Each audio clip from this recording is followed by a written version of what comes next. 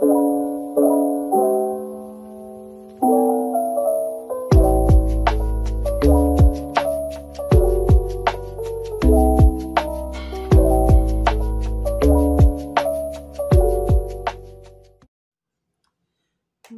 guys. Morning, morning, morning, morning.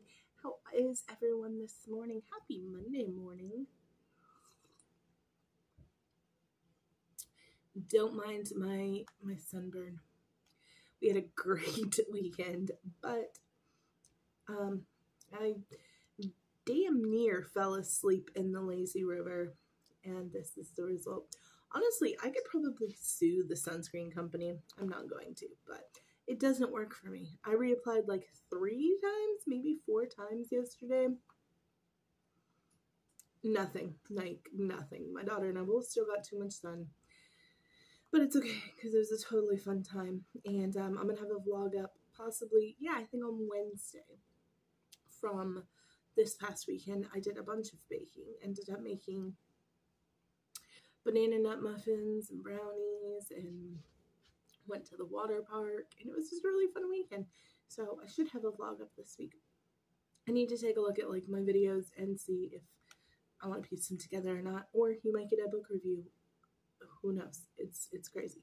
Um, I also am going to probably have a grocery haul for you guys this week. Um, I haven't been doing them because they haven't been that interesting. But with the fall snacks and the cool stuff rolling out, there's a few items I'm really looking for specifically. And um, we'll talk about that if I do a grocery haul. So, yeah, I'm excited about fall things are rolling in in case my last three videos haven't informed you enough about that. But not speaking of fall, this was Christmas related. I read the cutest book ever, and that is um, Alicia Thompson. I want to make sure I said her name right. Alicia Thompson's With Love from Cold War. So, if you remember correctly, last year I read Alicia Thompson's other novel, um, Love in a Time of Serial Killers, which I really, really liked. I think I liked this one a little bit more.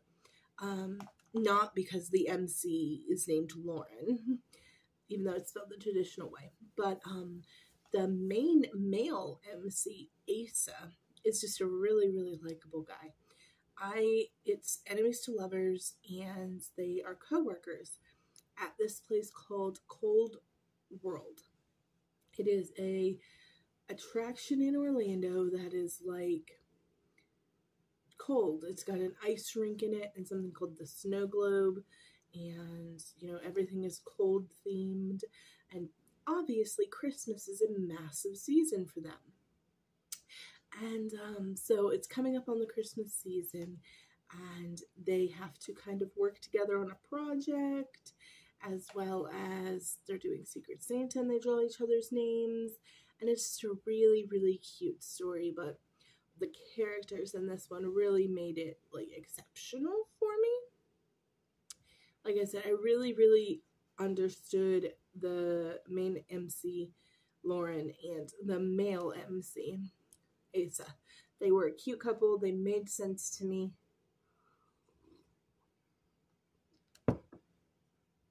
Perfect example of opposites attract, but in like the right way and not in like the wrong way where it's like y'all don't even belong together y'all don't even like each other but like done in the right way if that makes absolutely any sense um yeah it was just a really really great read thoroughly enjoyed it. Um it also has a lot of heartwarming stuff. It has a bunch of trigger warnings in the beginning that deal with lgbtq issues um like outing somebody and against their consent and things like that because Asa is bisexual in the book and his family is not supportive and um, he had a bad experience.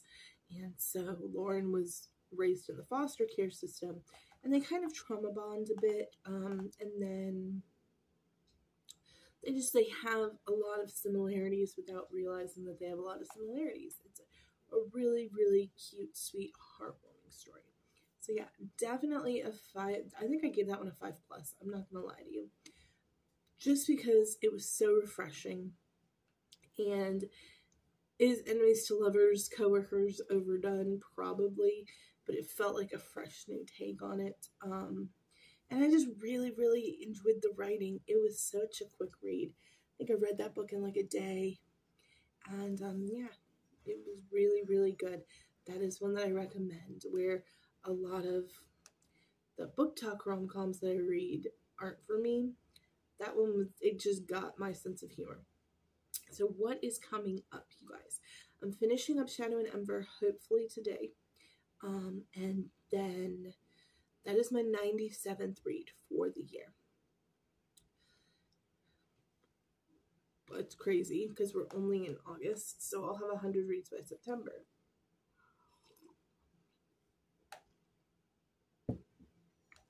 even you guys know my goal is always 100 books a year.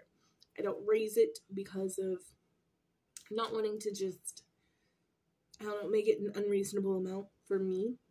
I think that anything over 10 to 15 books a month is excessive for me, unless I am literally just listening to audiobooks at work all day, every day.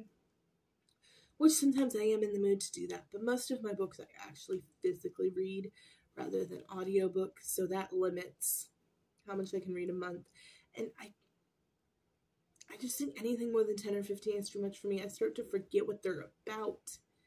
Like they start to blend together for me. So, we're going to read my 100th book probably at the end of this month, if not the beginning of next month. And I'm going to do a whole video on picking that book. Um, I have a front runner, but I'm not going to lie, there are a couple that are high up there. Um, I'm going to do a video on that. All of my front runners. And um, then we'll figure out which one we're going to read, okay? Um, but With Love from Cold War, excellent book. Thoroughly enjoyed it. One of my favorite reads of the month of August so far. And I have had I feel like three or four five star plus reads this month. Let's take a look really quickly at my desk. I'm at my desk, so I can actually look. Let's take a look. Um, see if I can pull it up quickly without wasting y'all's time. I feel like I've had an excessive number of five-star reads this month. Five pluses, actually.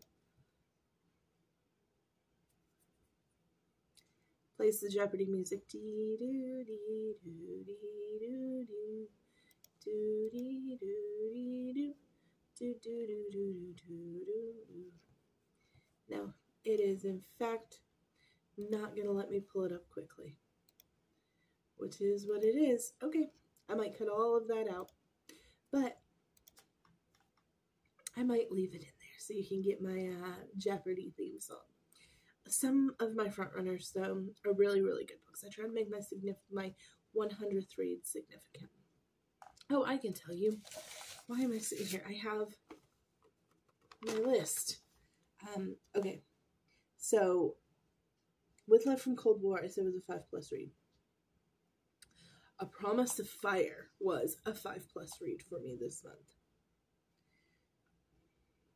One Dark Window was a 5 star plus read for me this month.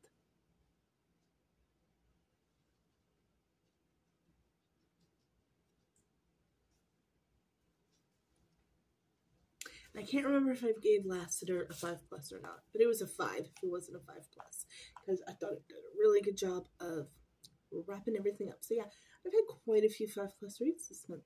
Three. One Dark Window, A Promise of Fire, and now With Love from Cold War. Or With Love from Cold World.